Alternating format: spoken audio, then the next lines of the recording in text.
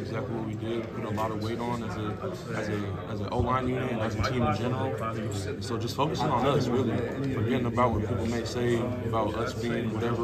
You know what I'm saying? Forget all that. We're we're, we're ready to play. And then, you know, the Olympics are going on. Um, right now, if there was an Olympic sport that you can't play since football isn't there yet, what sport would that be that you like, "Oh, I think I can do that? Well, I used to play water polo before I stepped on the field, so I think water polo.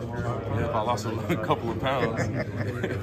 How has the culture shifted from last year to this year? There was no real culture shift. Coach Riley was pretty adamant about this is how we're going to do things when all the new guys came in. Like this is this is the standard, and he set that standard, and they and everybody rode with it. You know what I'm saying? That's pretty much how it went. Mason, what is your level excitement and anticipation going on? I'm very excited. I'm very optimistic about this year. Why?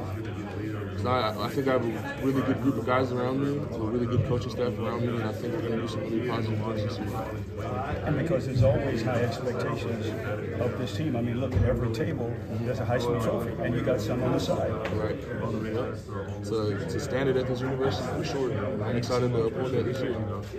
As, as a guy that played 13 games last year, being in the heart of this with the way the offense ran, the production, how much responsibility do you feel to see that it repeats again?